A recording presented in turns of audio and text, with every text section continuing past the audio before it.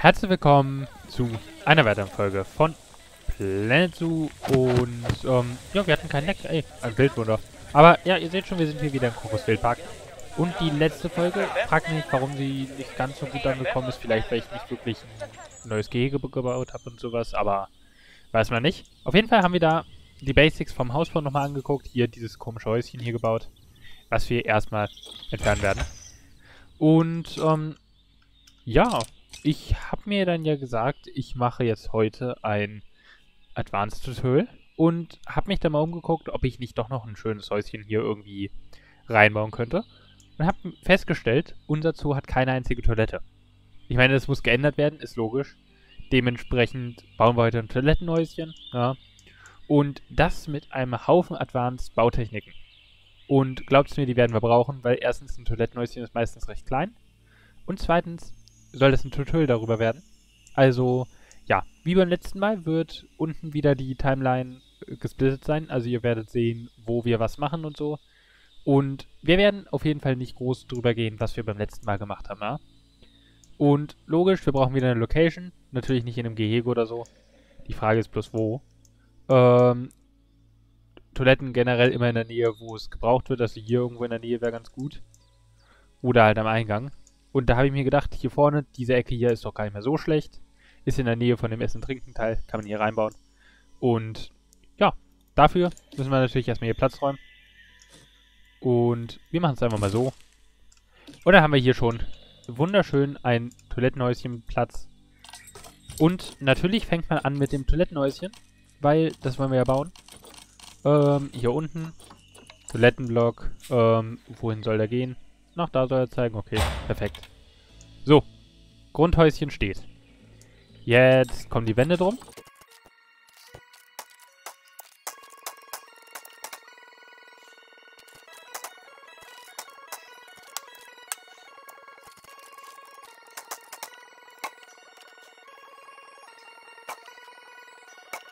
Ja gut, habe ich gesagt, dass ich gerade eben aus Versehen den gesamten Teil ähm, in ähm, Mute gemacht habe und ihr dadurch nicht gehört habt, was ich gemacht habe.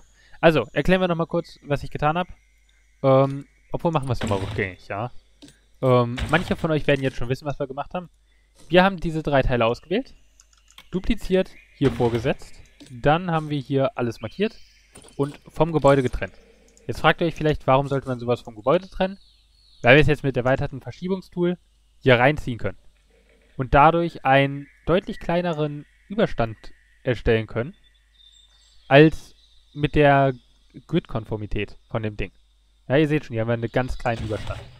Und das bringt tatsächlich recht viel, wenn es um Detailgrad geht. Ja, dementsprechend kann das nicht schaden.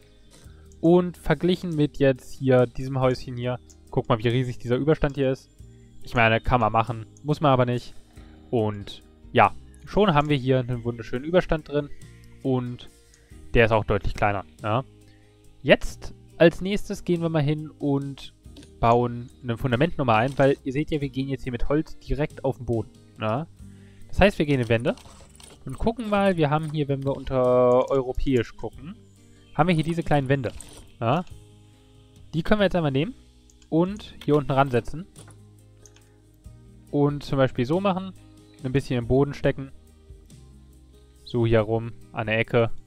Und schon haben wir hier wunderschön so ein Teil. Auch wenn es scheiße ist, weil es irgendwie nicht connected. Außer du drehst es.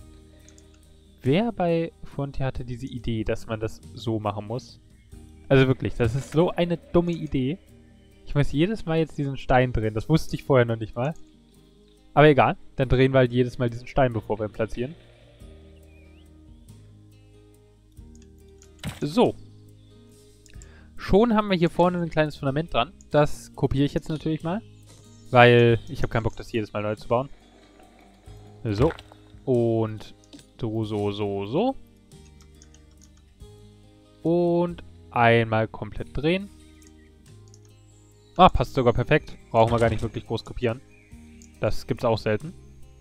Und schon haben wir jetzt hier ein kleines Fundament dran. Das hilft auch extrem. Das habe ich an den anderen Dingern nicht. Und theoretisch könnten wir das aber auch mit ähm, diesen Teilen hier machen. Äh, wo sind sie denn? Haben wir hier von gar keine gerade Wand? Achso, doch, hier oben. Ja, mit den Dingern könnten wir auch machen. Wie gesagt, da müsste man dann das halt nur wieder mit der Technik machen, hier oben dieses Dach, ja, dass man das Gebäude trennt. Mit der Technik kann ich sowieso nur empfehlen zu arbeiten, weil die gibt euch sehr, sehr, sehr, sehr viele Möglichkeiten. Und mit sehr, sehr, sehr viele Möglichkeiten meine ich auch wirklich extrem viel. Weil, ja, die hat so ziemlich alles offen, was ihr machen könnt. So, jetzt hauen wir nochmal kurz eine, ähm, Dings dran. Eine, ähm, Dachrinne. Und dann gucken wir gleich nochmal.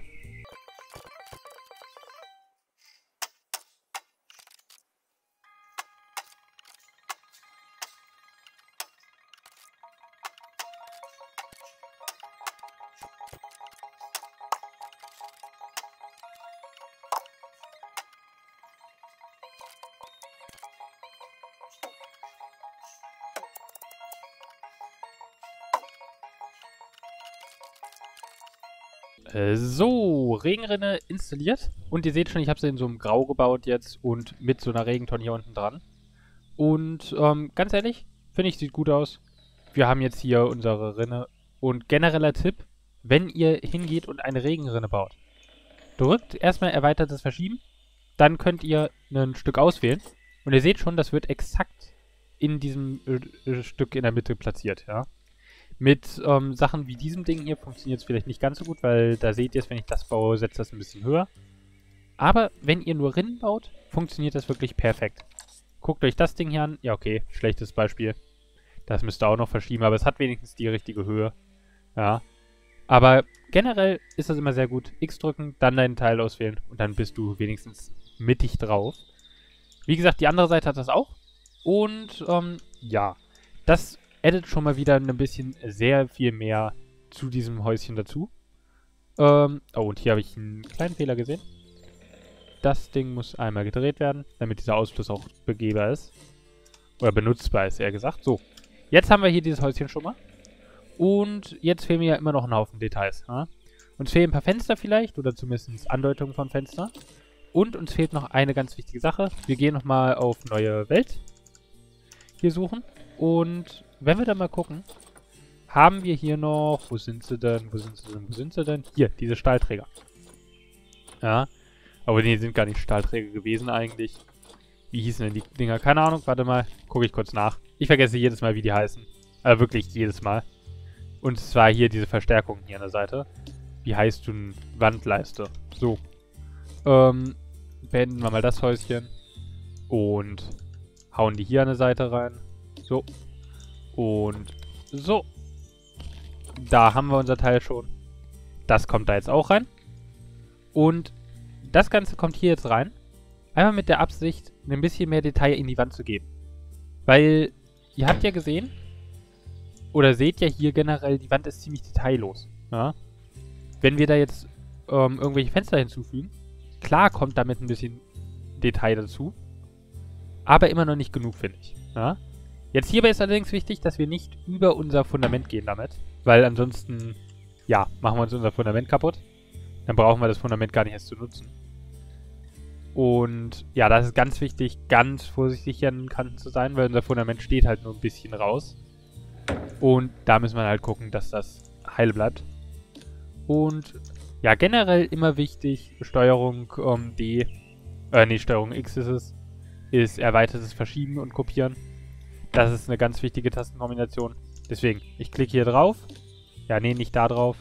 Na, auf das Ding. Drücke Steuerung X und schon kann ich das so hin und her verschieben. Das heißt, es bleibt in seiner Position. Ist sehr wichtig, glaubt's mir. Ja. Weil ihr seht schon, dadurch kann ich sowas alles hier machen. Kann das hier jetzt hochnehmen und sagen, ich will dich hier oben einmal drunter langlaufen lassen.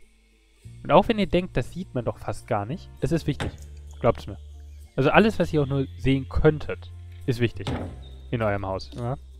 Wenn ihr wirklich vollständig detailliert sein wollt, ja, dann ist alles, was ihr sehen könnt, wichtig. Ja?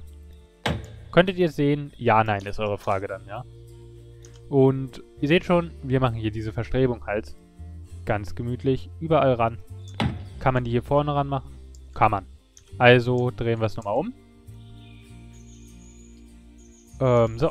Und drehen es nach hier vorne rüber. Äh, drehen, ja genau. Schieben's. Und schon haben wir es hier vorne auch dran. So. So einfach geht das. Und, ähm, ja. Jetzt seht ihr, haben wir hier schon deutlich mehr Detail dran. Aber immer noch nicht genug. Ja. Heißt, wir wollen ja jetzt noch Fenster machen. Jetzt müssen wir halt natürlich gucken. Wir wollen eine Toilette bauen. Da bauen wir natürlich keine normalen Fenster rein. Wie gesagt, ich finde eigentlich die Dinger gut, aber die sind viel zu groß. Deswegen probieren wir mal mit denen hier und dann recht weit oben. Und dann stehen die ja so extrem weit raus. Das kann man einfach ignorieren und reinschieben. So nah, bis dann das Glas hier äh, verschwindet. Ihr seht es ja. Das Glas verschwindet ab einer bestimmten Höhe. Und ähm, ja, dann braucht man sich auch nicht mehr drum kümmern. Das macht auch keinen großen Unterschied. Ähm, so, und das, wie gesagt, ist halt jetzt eine ne Toilette. Da will man sowas haben. Dann können wir noch hier eine Klimaanlage mit dran bauen. Ähm, die Frage ist, wo haben wir sie? Hier, externe Klimaanlage. Ja, ich meine, es ist eine Toilette. Die braucht sowas. Ähm, bauen wir hier oben ran.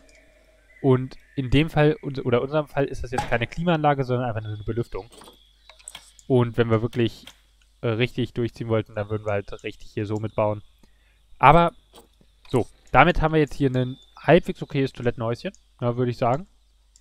Aber es fehlt immer noch ein bisschen was, weil die Wände sind trotzdem noch langweilig.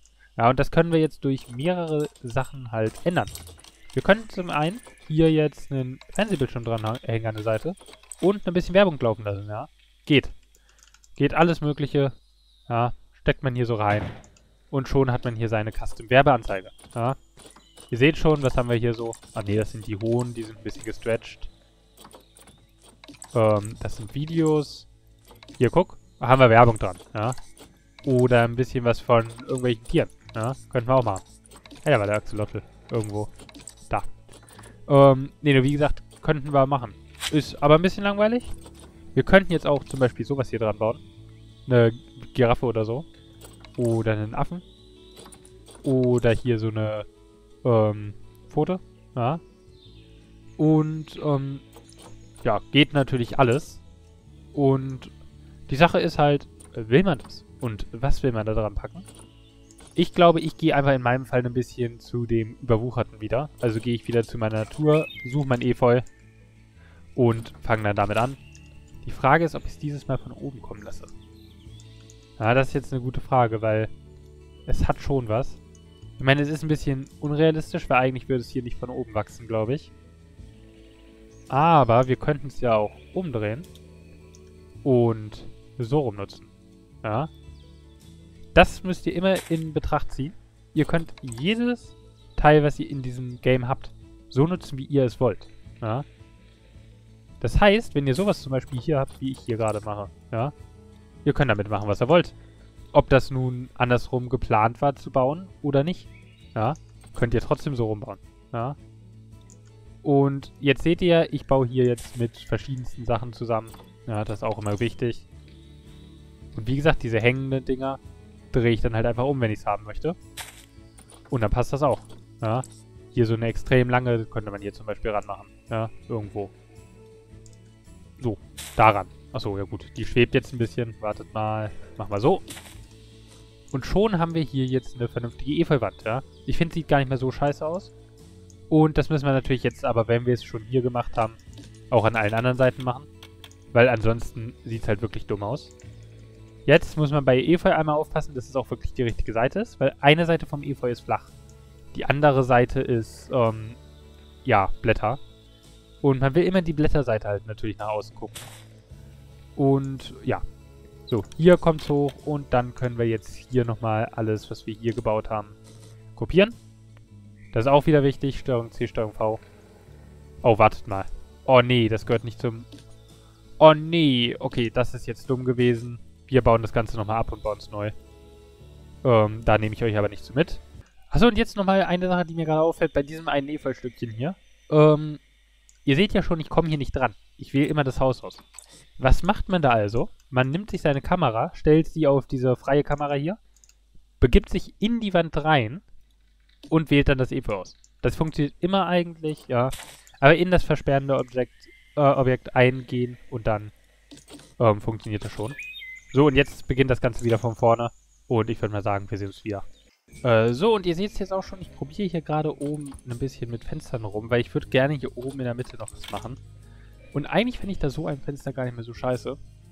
Das Problem ist nur, ich mag diesen Außenring nicht. Und jetzt ist die Frage, kriegen wir den angepasst? Lol. Es sagt Steinfarbe, aber es macht nicht die Steine. Okay, ja gut. Dann ist der raus. Das Problem ist, die sind auch nicht so das Wahre. Ja gut, dann haben wir halt ein Problem. Weil der hier ist zu groß. Ja gut, dann haben wir ein Problem da oben. Weil das ist besonders nervig. Die kleinen Sachen hat man sehr, sehr wenig. Dann können wir ja mal bei den Wanddekoren gucken. Hier, wie gesagt, sowas mag ich auch ganz gerne. Aber ich weiß nicht, ob das passt. Ähm, aber generell einfach mal reingucken, wenn er irgendwas sucht. Ja. Was auch immer das ist für ein Zeug. Hehe, eine Salamander. Oder was auch immer das ist. Ganz ehrlich, das könnte man tatsächlich drauf lassen, aber nee. Ähm, nur die Sache ist generell, guckt einfach mal durch und limitiert euch nicht irgendwie auf bestimmte Sachen, weil guckt einmal durch alles durch ohne Filter. Ihr findet immer irgendwas Schönes. Das ist generell so die Sache. Und ob das nun aus dem Thema ist, was ihr haben wollt oder nicht, ja, ihr findet es immer. Ja. Oh, ein Außenanschluss hier. Den müssen wir auch nochmal einbauen. Hier vorne ist so ein schöner Spot dafür. Und das ist genau das, was ich meinte mit, ihr könnt nicht genug Details haben. Weil ihr habt einfach eine Steckdose. Ja. Das ist nicht so häufig. Ein Lichtschalter, okay, nee, den brauchen wir nicht. Ähm, brauchen wir sonst noch irgendwas Schönes hiervon? Nö. Ein paar Blätter hätten wir hier, ein paar Affen. Die passen aber nun wirklich nicht. Nee, schade. Ähm, die Sache ist halt, es gibt hier so ein paar Sachen, die man nehmen könnte. Ich weiß aber nicht, ob wir irgendwas jetzt direkt nehmen. Was ist das hier? Achso, nee, das ist viel zu groß. ich meine, der Löwe sieht stark aus, aber passt jetzt gerade nicht. Und dann ist auch die Sache, wir können vielleicht da einfach eine Beleuchtung hinhängen. So eine Lampe, die hier runterhängt. Obwohl, nee, die muss größer sein, wenn schon. Und dann wird es auch schon funktionieren. Die Frage ist, was für eine. Die hier ist nicht so das Wahre. Halt, man kann ja auch rum experimentieren, zum Beispiel mit so einer Lampe hier. Die kann man nehmen und dann einfach so hier reinstecken, ja. So ein bisschen hier raushängen. Dann so machen. Und schon hat man hier eine Lampe, ja. Also mal davon abgesehen, dass ich die gerade schrecklich gedreht habe. Und mit schrecklich meine ich auch richtig schrecklich. Ihr seht schon. Die ist ja hier wirklich kreuz und quer. Aber theoretisch, sowas würde gehen. Schon habt ihr eine Wandlampe, ja. Also das ist immer so eine Sache, schreckt nicht vor, zurück, irgendeine Scheiße zu machen, sozusagen, mit den Sachen. Solange es gut aussieht, ist es nicht schlecht, ja. Oder zum Beispiel diese Teile hier kann man auch wunderschön nutzen und so in eine Wand stecken, ja. Solange es eure Wand hergibt, ja. Weil dann habt ihr hier eben diese, ja, wunderschöne Stelle hier. Ja. Das funktioniert meistens. Aber nicht immer halt. Das ist das Problem. Und ich weiß nicht, finden wir hier eine Lampe, die gut aussieht? Ich glaube tatsächlich nicht, obwohl die hier... Ne, die hat einen zu großen Sockel. Zumal wir hier halt auch noch extrem limitiert dadurch sind, wie unser Teil hier aussieht. Weil, ja, wir haben halt hier diesen ganz, ganz dünnen Schlitz, den wir nur nutzen können. Und ich glaube tatsächlich, dass so eine Lampe hier das Beste ist, tatsächlich, hier oben drüber. Und dann ein Schild. Na, wir haben ja auch genug Schilder. Dass hier eine Toilette ist, weil, muss ja auch gewiss, äh, gewusst werden hier. Jetzt bloß die Frage, wo haben wir Toilettenschilder? Hier, ähm, Toilette. Hier, ähm, welches nehmen wir? Das kleinere oder das viel zu große? Wir nehmen das kleinere. Nein. Und machen die Farbe anders, weil ich mag dieses so ganz helle nicht. Ah, gehen wir mal auf ein dunkleres. Und schieben es ein bisschen rein. So. Schon passt das. Wir haben, wissen ja, dass hier eine Toilette ist. Wir haben auch direkt die Zuordnung. Das ist wichtig. Jetzt haben wir Frauen und Männer. Auch wenn es das Game nicht so macht. Aber Zuordnung ist drin. Und schon haben wir hier die Toilette drin. Und dieses Häuschen ist soweit ganz gut. Aber wir haben noch nicht alles an Möglichkeiten angeguckt, was man mit diesen Bautechniken machen kann. Und ganz ehrlich, ich liege jetzt mal ganz kurz mein Planet Coaster Projekt, ja. Ähm, so ein bisschen zumindest. Und ich würde mal sagen, wir sehen uns jetzt nochmal im Planet Coaster. Äh, so. Zuallererst jetzt, vielleicht werden sich manche fragen, wie komme ich auf die Idee, zu Planet Coaster rüber zu gehen, einem komplett anderen Spiel. Und zwar liegt es daran, dass Planet Coaster einfach exakt das gleiche Bausystem hat wie Planet Zoo. Ja? Also wirklich exakt. Vielleicht ein paar andere Teile, die man benutzen kann, wie man hier vorne schon sieht und so. Aber das ist ja erstmal egal. Ja? Mir geht es darum, um die Bautechniken. Und ihr seht schon eine ganz, ganz wichtige Geschichte hier. Dieses Gebäude ist rund. Ja? Glaubt mir, das war eine absolute Scheiße zu bauen.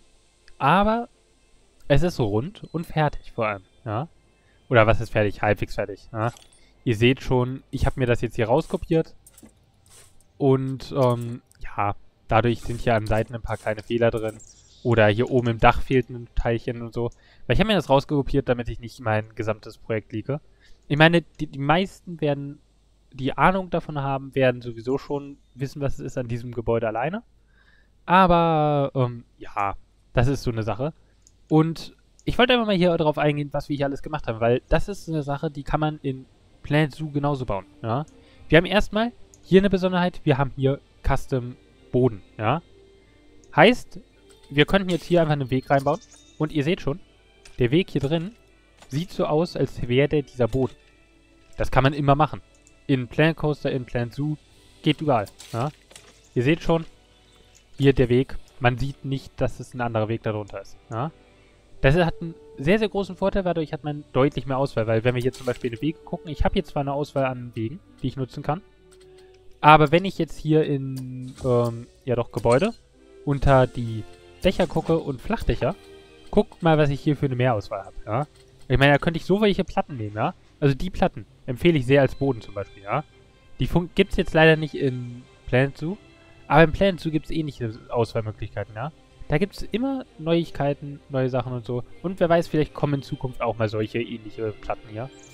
Weil die Dinger eignen sich wunderbar als Fußboden. Ne? Haben wir nur nicht als Weg. Heißt, man baut sich seinen eigenen äh, Fußboden. Das geht, würde ich nicht empfehlen auf große Distanzen. Besonders nicht auf kurvige Distanzen. Aber wenn ihr zum Beispiel einen Platz baut, und das hier ist aus einem Platz, ja, wie man sich äh, denken kann eigentlich, ja, dann funktioniert das sehr, sehr gut. Ja? Besonders wenn man die Ecken von Gebäuden flankiert hat, sozusagen. Oder irgendwelchen großen Büschen und so, ja. Weil das Problem ist, ihr seht schon, das ist eckig. Normalerweise ist hier in diesem Teil ein Gebüsch. Ja? Ihr seht hier noch einen Stein vom Rand des Gebüsches. Das geht normalerweise hier so rum und macht dann hier so seine Kurve. Das müsst ihr dann natürlich verdecken, dass hier diese Kanten eckig sind und so, ja. Und darunter den Weg zu bauen, das wird eine ganz andere Geschichte. Das kann ich euch eventuell nächstes Video mal zeigen. Weil in meiner anderen Welt habe ich hier einen Weg drunter und der ist nervig genug gewesen. Aber ich wollte ja noch ein Wegtutorial machen, also da kümmern wir uns dann darum. Aber dieser Boden, eine Sache für sich selber. Dann können wir ja mal ganz kurz was gucken. Wir haben hier insgesamt 42 Gebäude. In diesem einen Gebäude sozusagen, ja. Ich meine, wenn wir hier mal draufklicken, das ist ein Gebäude, das, das Ding hier sind alles einzelne Teile sogar. Dann haben wir hier, jede einzelne dieser Fronten ist ein Gebäude. Ja? Und glaubt es mir, das ist nervig genug. Ja? Und dann das hier ist ein Gebäude, dann haben wir hier hinten ein Gebäude, hier ein Gebäude, hier ein Gebäude und so weiter und so fort. Also ihr seht schon, das dreht sich hier ein bisschen im Kreis und sowas. Und dadurch funktioniert das Ganze ja auch alles. Und hier oben, dieser Turm ist tatsächlich nicht ein Haufen unterschiedlicher Gebäude. Aber die Sache ist halt erstmal, seid nicht zurückhaltend mit Gebäuden. Ihr seht schon, hier sind genug. Ja? wenn ihr eine Kurve bauen wollt, müsst ihr ähm, Gebäude trennen. Und je enger die Kurve, desto schlechter sieht es aus natürlich, aber in diesem Fall geht es eigentlich. Ja? Als kleiner Tipp, wenn ihr eine gleichmäßige Kurve machen wollt, das funktioniert sowohl im Planet Coaster als auch im Planet Zoo, nutzt einen Weg. Ja? Weil ihr seht schon, diese Kurve ist gleichmäßig, ja? wenn ihr die baut. Ja gut, wenn man sie so hat. Und dann baut eure Kurve an dieser Wegkurve entlang. Ja? So habe ich diese Kurve auch gemacht. Ich bin hingegangen und habe hier einen Weg gebaut, der dann halt einmal hier gerade war.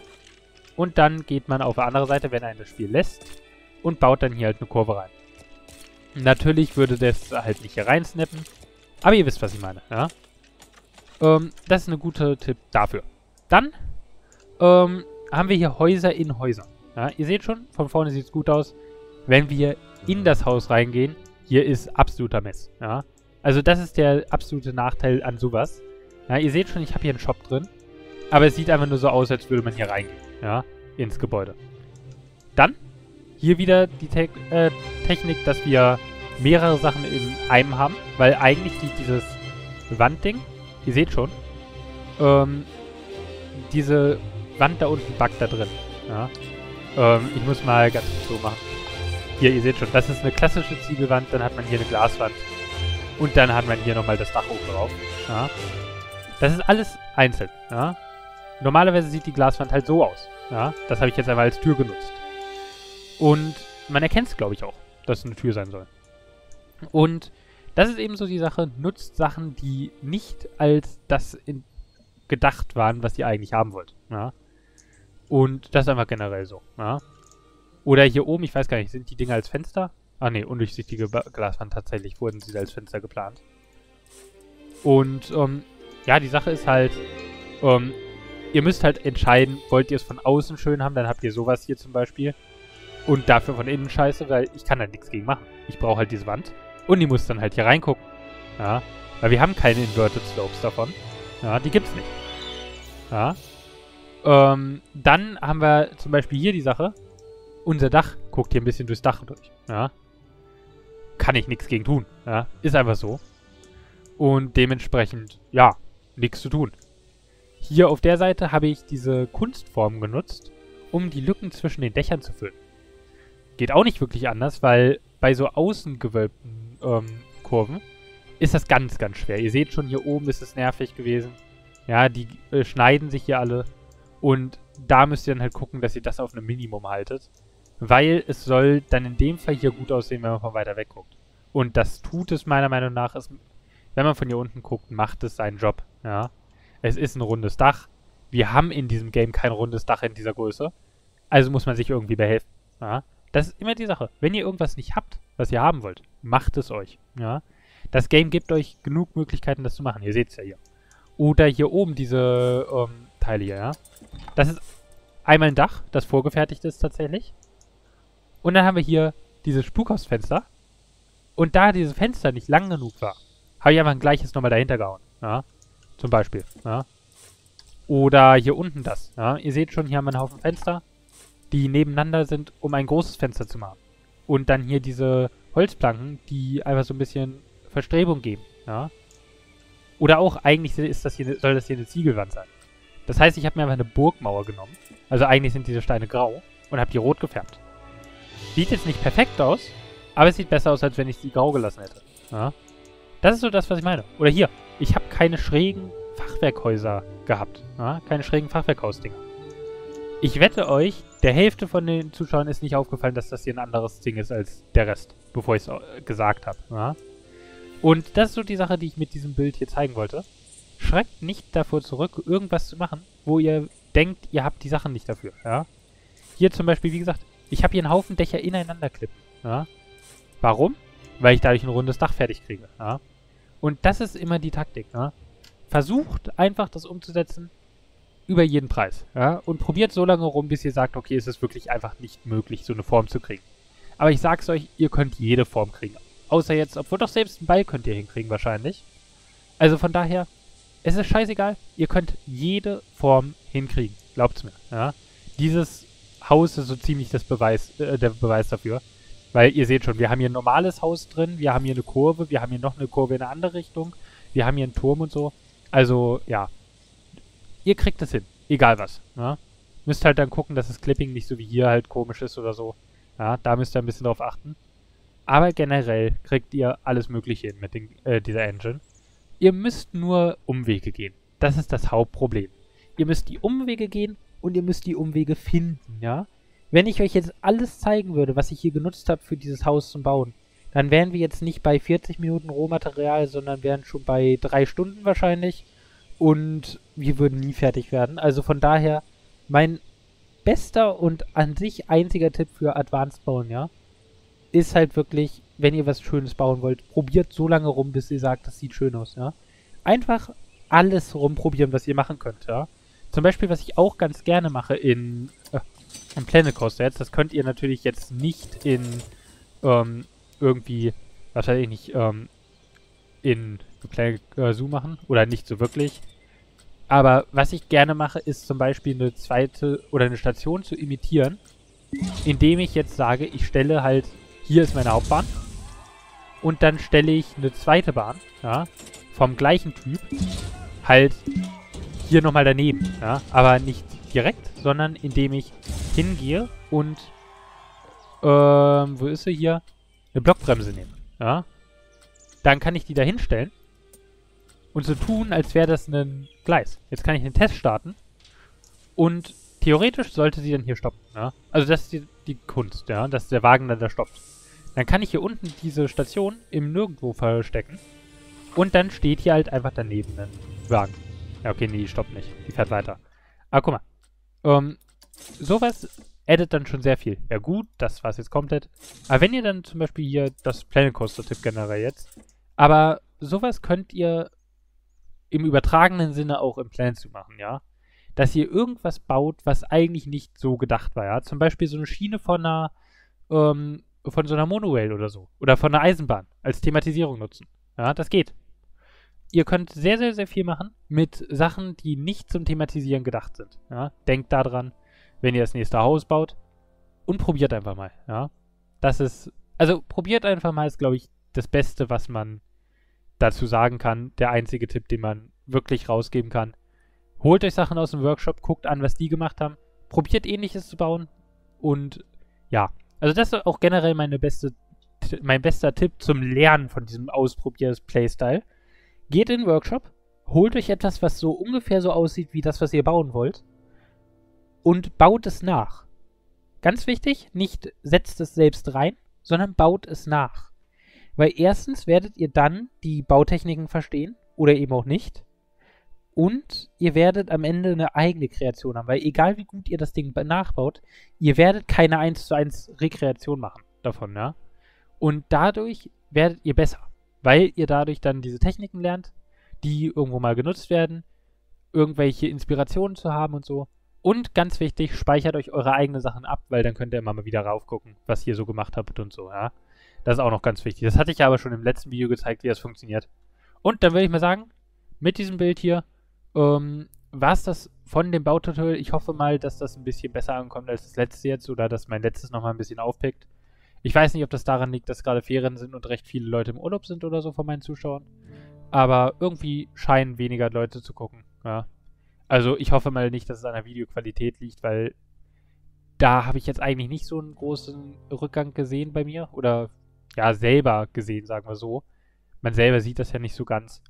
Also wenn da irgendwas ist, wo ihr sagt, woran es liegt, dann schreibt es mir in die Kommentare, dann ändere ich das sofort wieder.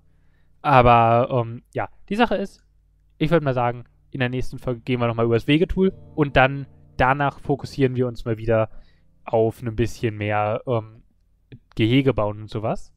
Und ja, dann würde ich mal sagen, bis zum nächsten Mal und ciao.